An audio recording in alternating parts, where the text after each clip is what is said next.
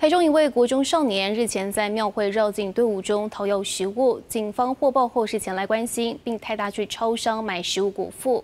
学校及社工体系都表示，他的监护人是外婆，但因案服刑。少年早已列入关怀个案，目前安置于儿少住宿机构，会持续关怀。一名十四岁黄姓国中生，十八号晚间跟在庙会绕境队伍中到处讨要食物。庙方通报台中警方前来了解。爸爸妈妈现在在干嘛？在彰化流浪。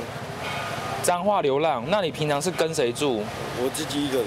警方表示，少年自称父母在彰化流浪，相依为命的外婆又因案服刑，手机坏掉无法与社工求助，只好向人讨食。远警随即带他到超商买东西果腹。庙会阵头中间有一名陌生少年，沿途跟着阵头在走。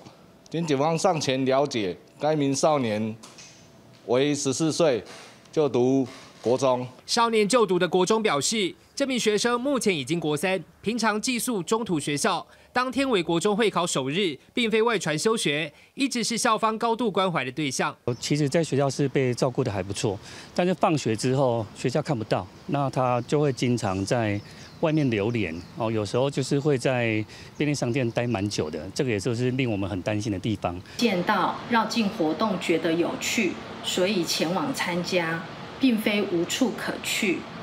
考量他已完成会考。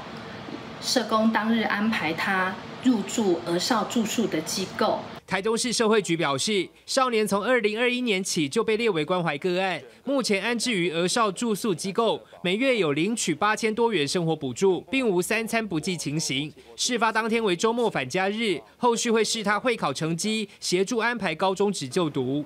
记者杨明峰、罗涛，台中报道。